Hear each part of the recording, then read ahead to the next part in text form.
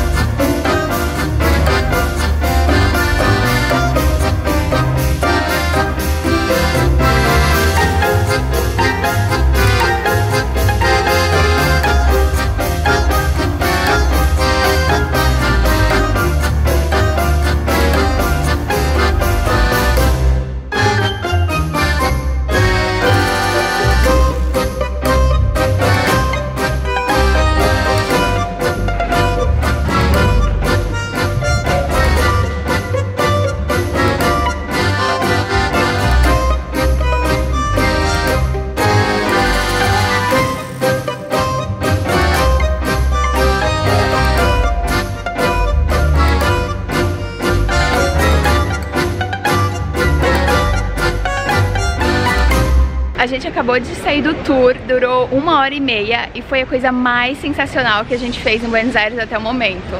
Cara, tem uma vista da cidade que é única, assim, só consegue ver se tu for nesse prédio. Ele fica bem localizada, ele consegue ter uma vista 360 da cidade. Tem um farol lá em cima que a gente Cara viu, um farol. Eu que não tenho medo de altura, eu fiquei meio, ai meu Deus do céu, porque Mas, mas é foi muito, muito legal. E assim, cada partezinha, cada detalhe do prédio tem um significado e a guia, ela é uma fofa, ela fala super bem, conta a história super de uma forma que você consegue entender. Ela fala em português, em espanhol, em inglês e foi muito, muito legal. Eu indico todo mundo visitar. Não tem como eu ficar contando a história, mas o prédio ele é dividido em inferno, purgatório, paraíso e cada lugar tem um porquê, cada coisinha tem um porquê. Enfim, até o lugar onde o prédio foi construído tem um porquê. É sensacional, apenas venham, vale muito a pena. Eles fazem esse tour à noite também. E em cima tem o farol, eles ligam a luz do farol. É, é bem legal. Deve ser legal também. É um pouco mais caro. É, o mas... diurno, que é esse que a gente fez, foi 350 pesos. Aí o noturno e tem alguns que tem com degustação de vinho também, enfim, tem outros tipos de tour. Eu vou deixar o site aqui na descrição pra vocês darem uma olhada. E dá pra comprar é, na hora ou também reservar pelo WhatsApp. Eu reservei pelo WhatsApp e foi super tranquilo. Eu e a Bru estávamos andando para almoçar e encontramos uma praça chamada Roberto Arte que fica aqui perto da Avenida de Maio. E ela tá com uma exposição fotográfica, não sei por quanto tempo, mas é uma exposição que se chama Ser e Sentir. E ela mostra a diversidade entre as pessoas na cidade de Buenos Aires, então tem várias bandeirinhas LGBT, tem bandeiras de outras causas também, muito, muito legal, deixou a cidade mais colorida.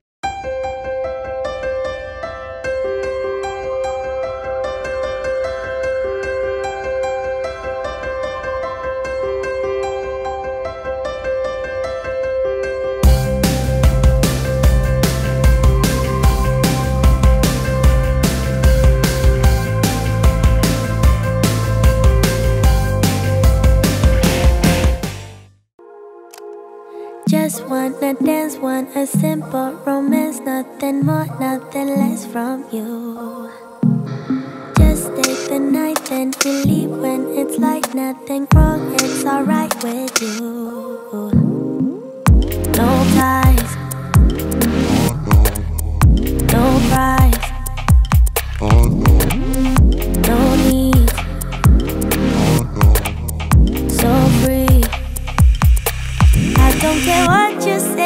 you do, how you feel. As long as you can show me a good time. I don't need promises, honestly, no big deal. As long as you can show me a good time. A gente veio no Juan Pérez Vintage, é um brechó que fica perto. Ah, fica na Avenida Santa Fé, pertinho da Avenida Santa Fé. E é Mara, é bem grande, tem dois andares. E o endereço tá aqui no, na tela pra vocês também vierem.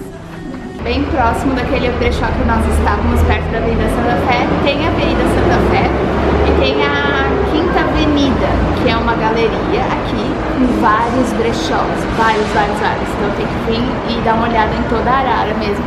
Aquele lance de, de garimpar, assim, tem que olhar peça por peça e ter bastante paciência.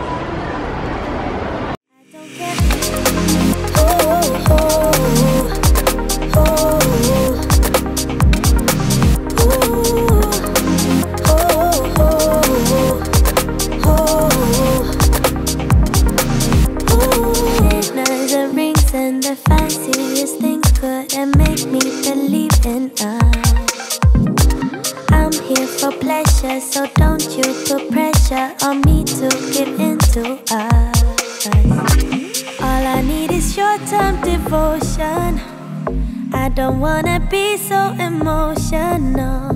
Just wanna dance, want a simple romance, nothing more, nothing less from you. No ties, oh, no. Price, no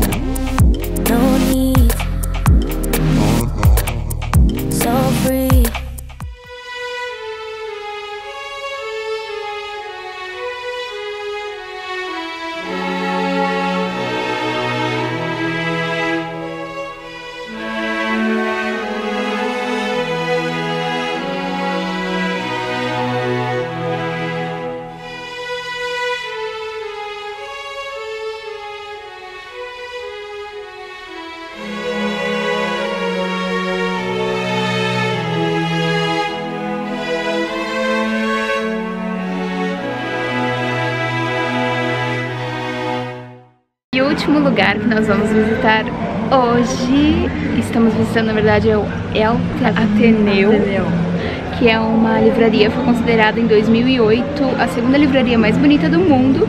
E realmente ela fica dentro de um teatro aqui na Avenida Santa Fé em Buenos Aires. E esse prédio ele foi construído em 1890 e pelos anos de 1910 e 12 é, abriu como um teatro, então aqui todo esse espaço aqui que agora vocês estão vendo estantes eram cadeiras e só em 2007 que se tornou uma livraria. Pouco tempo, né? Faz muito pouco tempo e é um outro lugar muito legal, um ponto turístico, tem vários brasileiros, várias pessoas tirando fotos por aqui. E é outro lugar que é de graça e é muito bonito para visitar aqui em Buenos Aires. Ali atrás, ó, onde é o palco, tem um café. Então se você quiser pode comprar um livro, ficar de boa aqui ouvindo uma música boa, lendo um livro e tomando um café.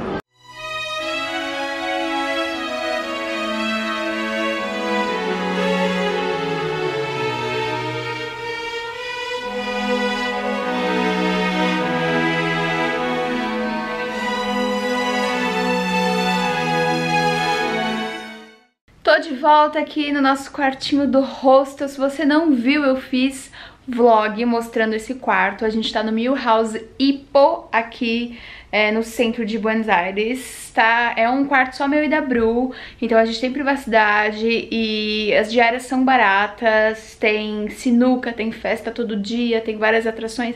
É muito legal, tem uma programação bem massa pra galera jovem, a maioria é jovem que fica hospedado aqui. E a gente voltou um pouco mais cedo pra se arrumar e à tarde, à noite, na verdade, e para algum bar diferente, alguma coisa diferente, assim. Então, se você está me acompanhando no Instagram, por isso que eu falo para vocês me acompanharem lá no Instagram, você vai ver hoje à noite, vou estar tá postando tudo lá nos stories. E se você ainda não acompanha, vai lá no meu Instagram, porque eu deixei tudo no destaque Buenos Aires. Então, outras dicas também que não saíram nesses vlogs, esse já é o terceiro vlog, você pode conferir lá no Instagram sem problema nenhum.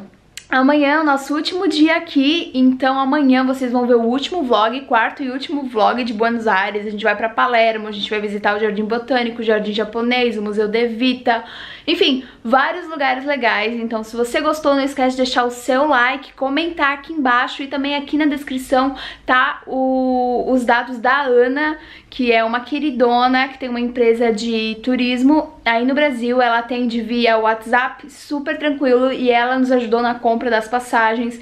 Se você tem alguma dúvida sobre passagem, sobre comprar passagem, é, sei lá, reservar hotel, enfim, você fala pra ela o seu tipo de viagem, se você quer economizar, se você quer ficar em hostel, em hotel, em Airbnb, enfim, o tipo de viagem que você quiser e ela vai com certeza fazer o orçamento e te passar certinho como você tem que fazer. Então ela orienta muito a galera e ela comprou a nossa passagem no preço bem legal, então eu indico muito ela, vou deixar o WhatsApp dela aqui na tela e também aqui na descrição, caso vocês tenham alguma dúvida, pode confiar, adiciona ela lá no WhatsApp e troca uma ideia, pede um orçamento que eu acho que vocês vão curtir. É isso, um beijo enorme, até o próximo vídeo e tchau!